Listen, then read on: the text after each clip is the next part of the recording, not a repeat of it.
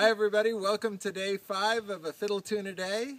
Today, here at Mesa Verde National Park, I will be playing Mountain Ranger Hornpipe.